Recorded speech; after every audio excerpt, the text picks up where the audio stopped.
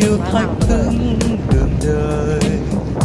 Ngài dành cho tôi ánh sáng dạng người. Tận ngày tôi bước đi. Thầm ta ơn chúa. Nhờ ngày gian quý mới biết dịu mềm, dần dần đi lên những bước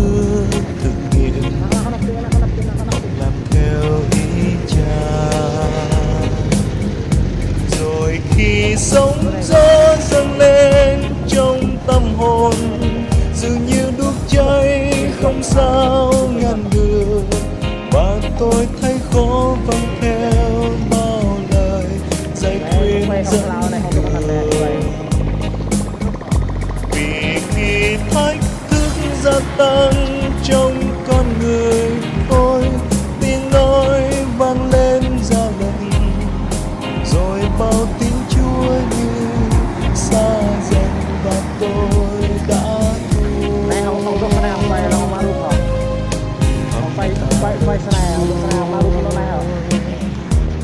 giờ gian nguy bóng chúa dạng ngời. Lời ngài đưa đi thoát bước bật làm và vượt qua khó nguy.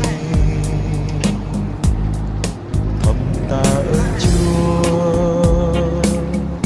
vì dù trong cơn thách thức cuộc đời nhờ ngài cho tôi lối thoát lạ thường lại dường như đây.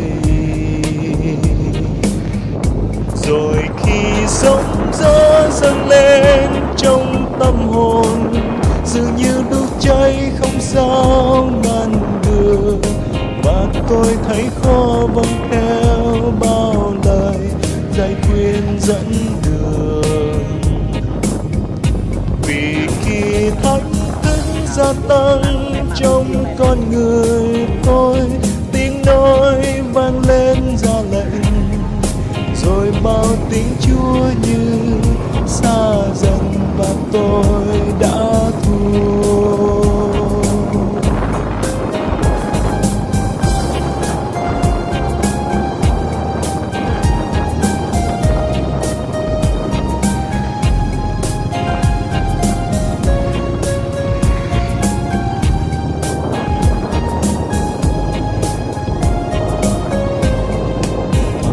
ơn Chúa. Vì Ngài cho tôi đắc thắng đường đời. Nhờ thuần vâng theo tiếng Chúa dạy truyền.